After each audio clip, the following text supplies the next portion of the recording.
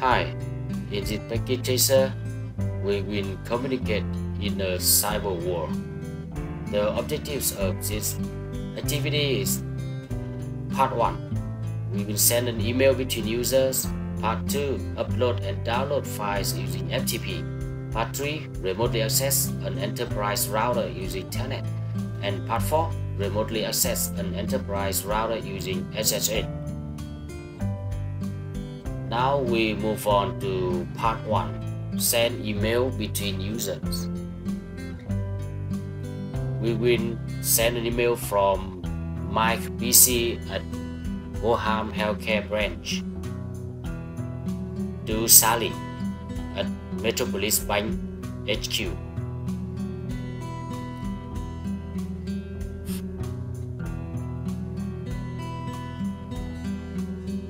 So on the healthcare center, we click on Mike PC. And on the desktop tab, click on the email. This is a email uh, composer and we click on the compose button and enter Sally email address. Enter the subject and enter the content of the email. And then click send. You can see the status at the bottom of the email composer sending email to Sally with subject and the send success. And we have a question what protocol was used to send the email to the email server? So the answer is SMTP or Simple Mail Transfer Protocol. On step 3, we uh, will check uh, the email on the Sally PC. Click on the bank center and click on Sally then we click on receive. And here we get we got my email. And the question is what pro protocol would use to receive the email from the email server? You can see uh, the status receiving email from POP3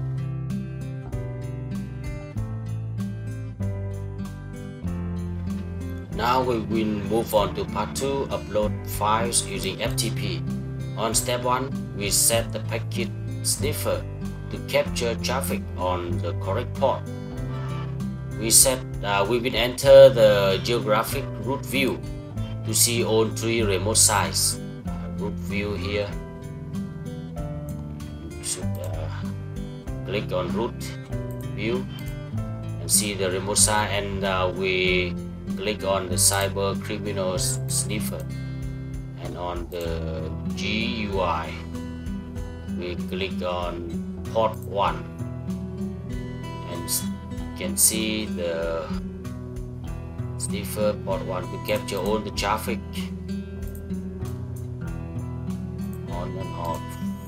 For first side 512 okay and leave the cyber criminal sniffer open and visible. So we will click on top here. Next, we will uh, remotely connect to the FTP server uh, from the Mary PC at Healthcare at Home. Healthcare at Home here, and click on Mary desktop and command prompt. And we click on connect to the FTP server by typing FTP and the address.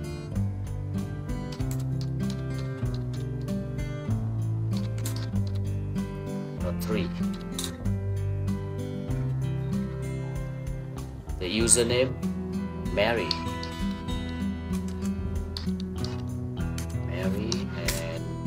password is Cisco 123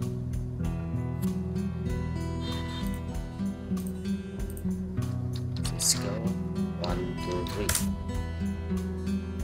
we have just uh, logged in successfully. Now we will upload a file to the FTP server.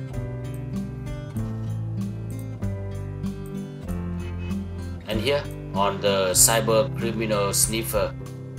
You see the buffer side with the TCP protocol and the FTP protocol on the layer 7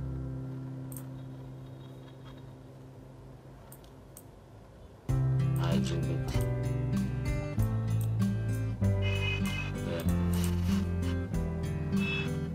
I enter the command gear and check for the files on the FTP server. And next I will upload the news clients.txt file to the FTP server by using the command put new client.txt so this file contains sensitive uh, client information no no such file directory. Maybe the wrong file name put. New client. Dot txt the transfer has completed and we can type dear and we got these files on the FTP server and we have a question why is FTP considered an insecure protocol for moving files? The answer is FTP protocols does not have a, a way to encrypt the data uh, from transferring uh, from the source to the destination. Now on step 4, we analyze the FTP traffic to prove uh, that answer and uh, we uh, click the cyber criminal sniffer and you can see here the Ethernet frame we got the source address destination address. And on the IP header we got the source IP destination IP and on TCP we got all the information and the FTP command. The user is Mary other information FTP here sequence number data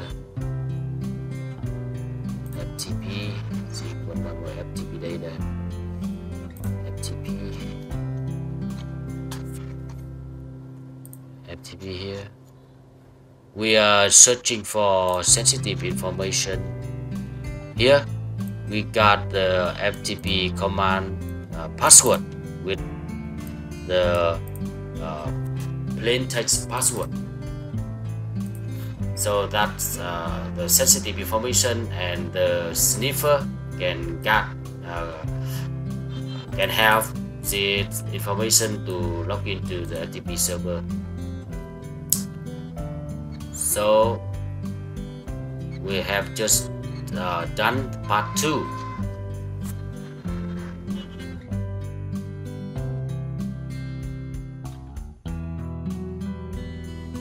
Now we will move on to part 3 remotely access an enterprise router using Telnet. On the day PC at the healthcare at home on it and open the command prompt and uh, that's it.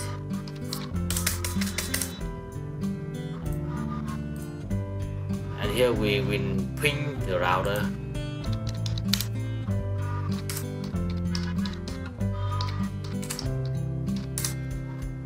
And we got the replies from the router. So we telnet to this router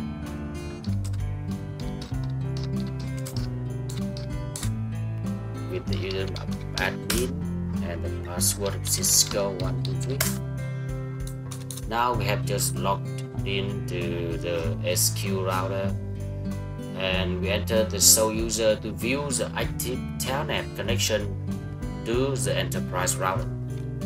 So user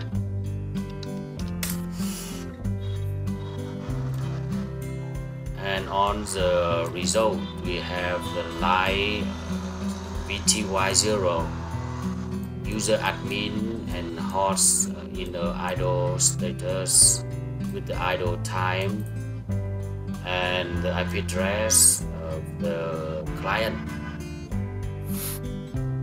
Okay. And why Telnet is considered an insecure protocol for remotely managing a device? Because Uh, the Telnet protocol does not have the method to encrypt the information when transferring from the source to the destination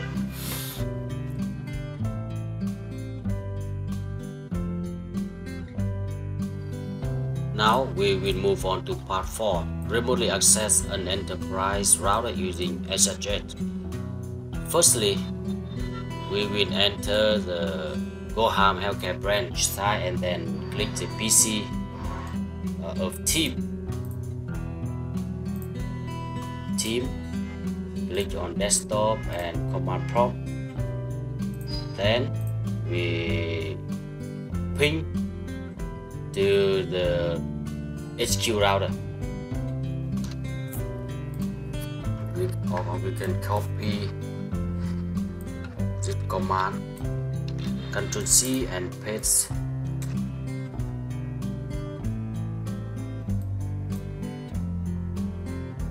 request timeout uh, on the first packet. The second one and we got the two replies from the router and we ping. Again and now we got four replies from the router. Now we use the command ssh uh, dot uh, l admin username and the destination. We copy and then paste with the password of Cisco 123 Cisco 123 we have just logged in to the HQ router. And sole user we got sole user to view the active SSH connection to the enterprise router. Now let's examine we got the VTY0 so this section is of the telnet section. And with the either time and the location but the VTY1 is a SSH section. We got username the host status the idle time but there's no information about the location of the client. So the SSH is considered a secure protocol for remotely managing a device because it uh, hide the destination uh, information and it uh, will encrypt the uh, data authentication data uh, when transferring from the source to the destination. And now we will enter the global configuration mode using config terminal command and create the secret password of Cisco.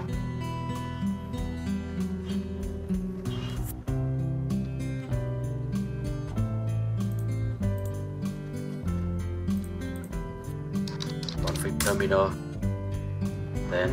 enable secret Cisco.